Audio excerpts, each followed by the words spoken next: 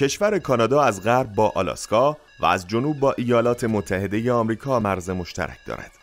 کانادا مرز دریایی با گرینلند، قلمرو خودمختار دانمارک و سنت پیر و میکلون جزیره‌ای که متعلق به فرانسه است دارد. این کشور از جنوب و شمال غرب با آمریکا همسایه است. هرچند کانادا پس از روسیه بزرگترین کشور جهان است اما جمعیت آن تنها حدود یک پنجم جمعیت روسیه است نزدیک به 90 درصد از جمعیت این کشور تا فاصله 200 کیلومتری مرز آمریکا زندگی می کنند.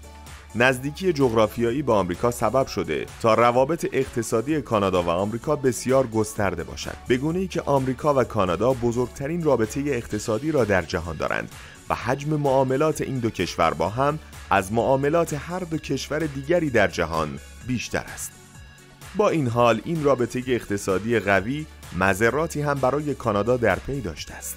آلودگی ناشی از فعالیت کارخانه های آمریکایی در نزدیکی مرز دو کشور یکی از این مذرات است. کانادا منابع طبیعی فراوانی دارد. آب و هوای آن سرد و در بیشتر نقاط قطبی است.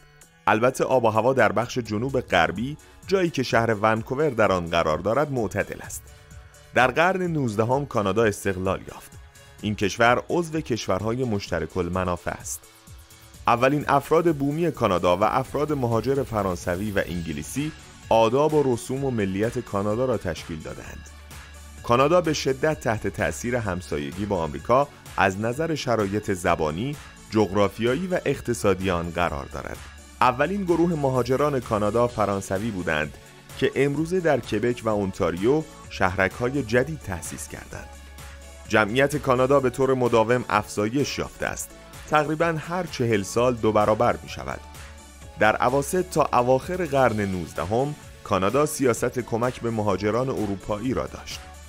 در حال حاضر تعداد زیادی از مهاجران اروپایی که بیشتر ایتالیایی ها، آلمانی ها، اسکاندیناوی ها، هلندی ها، لهستانی ها و اوکراینی ها هستند به کانادا مهاجرت می کنند.